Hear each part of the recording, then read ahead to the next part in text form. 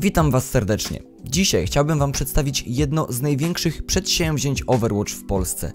Właściwie to nie jest związane tylko z Overwatch, ale ogólnie z e-sportem w naszym kraju. Mowa tutaj o Lidze Akademickiej. Zanim przejdę do kwestii Overwatch, czym jest ta inicjatywa? Jest to liga integrująca e-sport ze środowiskiem akademickim. Drużyny z polskich uczelni stają do walki o tytuł mistrza, ale to również współpraca z władzami uczelni oraz samorządami studenckimi. I powiem Wam szczerze, że nigdy nie spotkałem się z tak fajnym i dobrze zorganizowanym projektem. W sezonie pierwszym ligi 16 uczelni stanęło w rywalizacji w grze League of Legends. Rusza sezon drugi i dlatego przechodzimy do meritum filmu, bowiem od nowego sezonu Liga Akademicka rozszerza swoją działalność o Overwatch. Moi drodzy, bardzo serdecznie zapraszam do oglądania zmagań. Wczoraj wieczorem na Twitchu Ligi Akademickiej zostały rozegrane pierwsze mecze, a całość komentowali Asylum z Blinkiem. I powiem wam, że komentarz Asyluma jest całkiem niezły. Sam z chęcią wpadłem i pooglądałem. I kurczę, zebrało się całkiem sporo widzów. Oczywiście na pewno znajdzie się coś do poprawienia, ale pamiętajcie, to między innymi od Was zależy jak rozwinie się Liga Akademicka, więc śmiało podzielcie się swoją opinią. To nie tylko w końcu jakaś pozytywna inicjatywa, która rozwinie naszą ulubioną grę w Polsce, ale też projekt, który zwrócił na siebie uwagę. Jak już na pewno zdążyliście zauważyć, jednym z głównych partnerów jest T-Mobile, co dla mnie samo w sobie pokazuje jaki potencjał tutaj drzemie.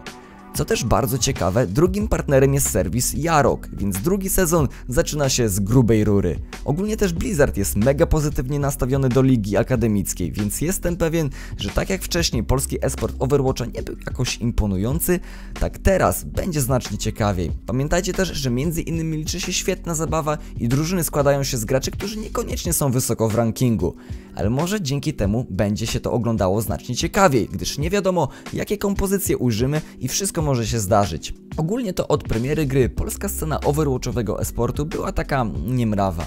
Powstawały drużyny, ale szybko były rozwiązywane, bo zawsze dominowała jedna. Albo jak już któraś weszła na europejską scenę, to poddawała się po pierwszych porażkach.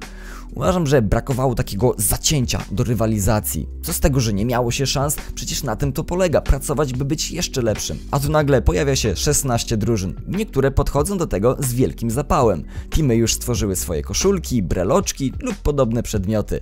Wyraźnie widać pozytywną energię w całej lidze akademickiej. Dla mnie taką jedną z najbardziej charakterystycznych cech ligi są nazwy drużyn, nieraz odzwierciedlające rodzaj uczelni. Przykład druidzi z Pomorskiego Uniwersytetu Medycznego czy rekiny z Akademii Morskiej w Szczecinie. Na koniec jeszcze jedna rzecz. Może część z Was zastanawia się, czy kibicuje którejś drużynie. Ja jestem z Gdańska, ale niestety nie ma żadnej drużyny z mojego miasta. Wielka szkoda, bo bym serio skontaktował się z drużyną i wspomógł wiedzą czy doświadczeniem. Ale tak czy siak chętnie będę obserwować zmagania drużyny Herosi z Uniwersytetu imienia Adama Mickiewicza w Poznaniu.